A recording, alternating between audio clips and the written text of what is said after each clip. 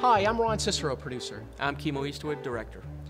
We are sitting in Hollywood, California, just blocks from Paramount and Spumco Studios, where Ren and Stimpy got its start.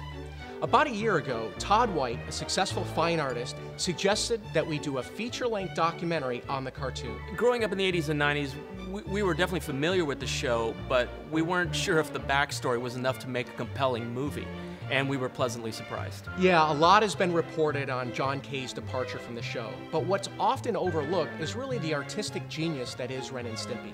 And who were the artists behind the psychotic chihuahua? A dim witted cat, a talking horse, and a superhero made of toast. A show that completely redrew the boundaries of a kid's comedy and upended the idea of what TV animation could be. And it's amazing some of those scenes even got on a kid's television show in the first place. Happy, Happy, Joy, Joy, the Ren and Stimpy story will be told through interviews with dozens of artists, writers, producers, and executives who worked on the show, plus superfans and celebrity admirers. We've collected never before seen artwork, pencil tests, personal photographs, and we are creating original Ren and Stimpy inspired animation just for the film. We've spent thousands of hours and our own money getting the film this far. Now we just need your help.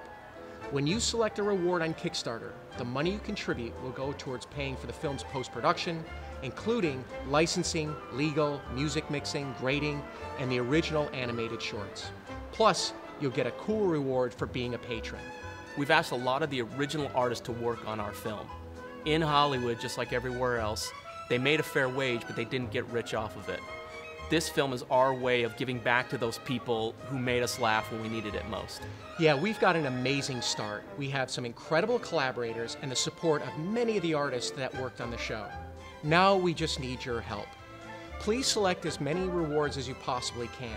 Not only will you get some killer one of a kind swag, but you'll also help complete a film that you're going to really love.